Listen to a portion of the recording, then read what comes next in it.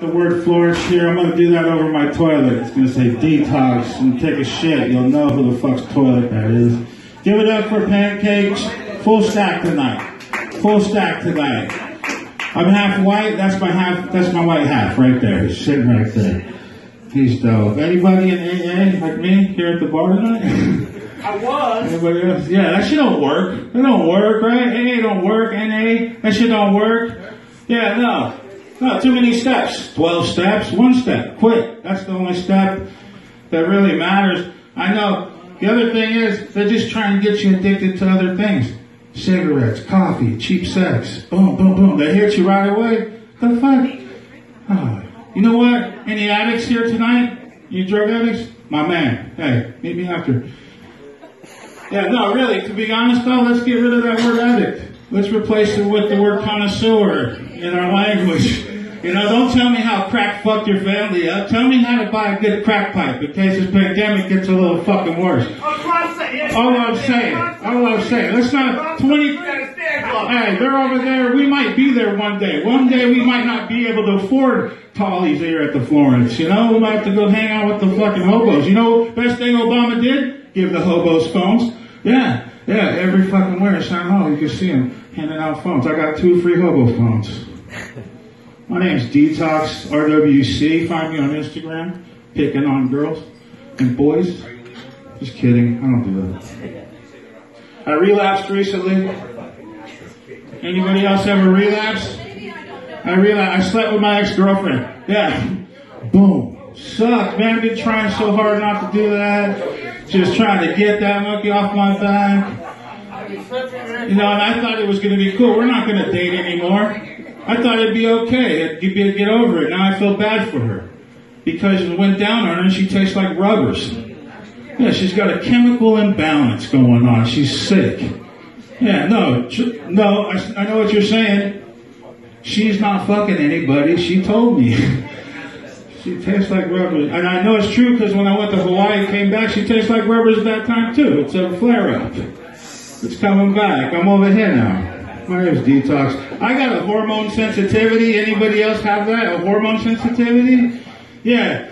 Anytime I hear one moan, I get sensitive and fall in love with her every time. I start tipping her double time. I get all, I get a heart for her.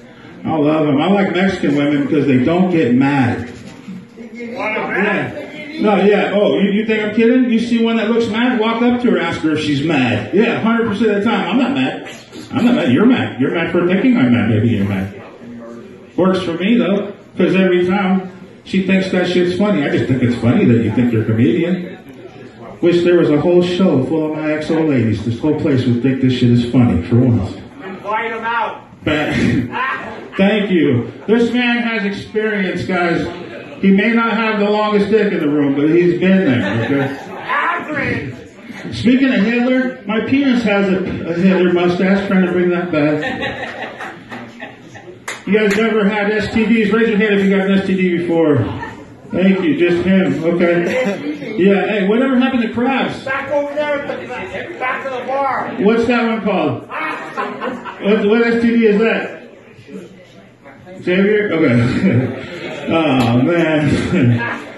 No, whatever happened to crabs? Crab is some bullshit, right? Crabs, crustaceans crawling around your dick. You're in the Planned Parenthood. You're looking down. There's a family of crabs crawling around your dick. Is that real? This guy has the fine tooth comb. Okay, he knows. He knows. Fine tooth comb possession. You throw that thing away with the. I figured out what it was. It was Bush. Yeah, no, not the president. Niles. Damn it. No, the fucking people used to have a bush. That was the natural habitat for the crabs. That's where they lived.